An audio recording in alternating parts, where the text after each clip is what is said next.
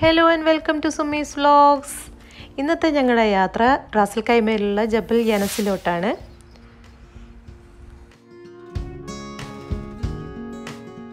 യനസ് mountain top എന്ന് ഗൂഗിളിൽ search ചെയ്താൽ ലൊക്കേഷൻ ഗൂഗിൾ മാപ്പിലുണ്ട് ഞങ്ങളും അങ്ങനെ ലൊക്കേഷൻ നോക്കിയാണ് പോയത്. റാസൽ കൈമയിൽ നിന്ന് ഒരുപാട് ദൂരമല്ല അപ്പോൾ ദുബായിൽ നിന്നാണെങ്കിലും നമുക്ക് ഒരു ഒന്നൊന്നര മണിക്കൂർ കൊണ്ട് നമ്മൾ ഈ സ്പോട്ടിൽ എത്തിച്ചേരാൻ പറ്റും.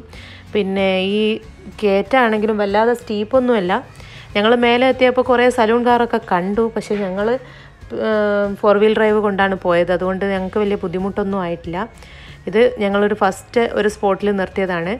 എല്ലാ ഭാഗത്തോട്ടും നോക്കിയാലും നല്ല മനോഹരമായ കാഴ്ചകളാണ്. അപ്പോൾ കുറച്ച് ഫോട്ടോസൊക്കെ എടുത്ത് ഞങ്ങൾ കുറച്ചുകൂടി മുന്നോട്ട് പോയി നോക്കുകയാണ്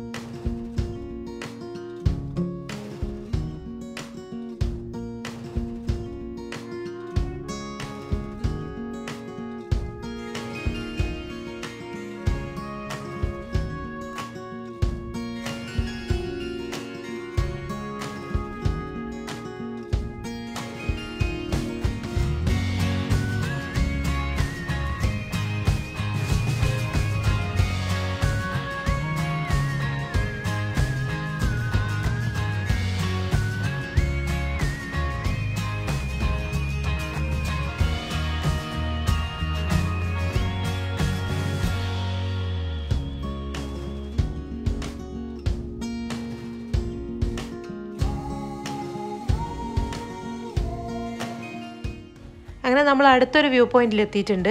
ഇവിടെ കുറച്ച് കാറുകളൊക്കെ കാണാനുണ്ട്. അവിടെ തന്നെ ഒരു വാഷ്റൂമൊക്കെ ഉണ്ടാക്കി വെച്ചിട്ടുണ്ട്. പക്ഷെ അവിടെ പണിയൊന്നും കഴിഞ്ഞിട്ടില്ല. അതിൽ വെള്ളമൊന്നുമില്ല അപ്പോൾ ഇതിന്റെ മേലെ കയറിയുള്ള ഒരു ബുദ്ധിമുട്ട് എന്താണെന്ന് വെച്ചാൽ വാഷ്റൂം നമുക്ക് ഇതിന്റെ മേലെ എവിടെയില്ല അപ്പോൾ ഒരു വാഷ്റൂമിലൊക്കെ എത്തണമെങ്കിൽ ഇതിന് താഴെ ഇറങ്ങി പോകേണ്ടി വരും. പിന്നെ ആവശ്യത്തിന് വെള്ളമൊക്കെ എടുത്ത് ഫുഡൊക്കെ എടുത്ത് വരികയാണെങ്കിൽ നമുക്ക് കുറച്ച് നേരമൊക്കെ നിൽക്കാൻ പറ്റും. അപ്പോൾ ഞങ്ങൾ അവിടുന്ന് കുറച്ച് ആൾക്കാരുള്ളത് കൊണ്ട് തന്നെ അവിടുന്ന് കുറച്ചുകൂടി ഫ്രണ്ടിലോട്ട് പോവാണ്. ഒഴിഞ്ഞ സ്ഥലം ഉണ്ടെങ്കിൽ ഇരിക്കാൻ വേണ്ടിയിട്ട്.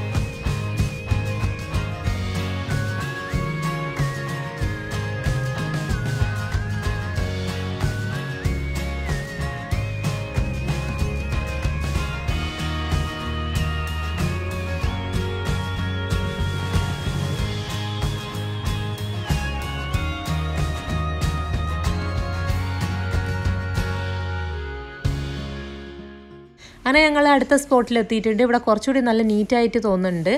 അപ്പോൾ ഞങ്ങൾ ഇനി ഇവിടെ ക്യാമ്പ് ചെയ്യാനാണ് പരിപാടി. അപ്പോൾ ഞങ്ങൾ അങ്ങോട്ട് കയറി പോവാണ്. ഇവിടെ ഞങ്ങൾ മാത്രമേ ഉള്ളൂ വേറെ ആരുമില്ല. അപ്പോൾ ഇനി നമുക്ക് ഇവിടെ എന്തൊക്കെയുള്ളതെന്ന് നോക്കാം.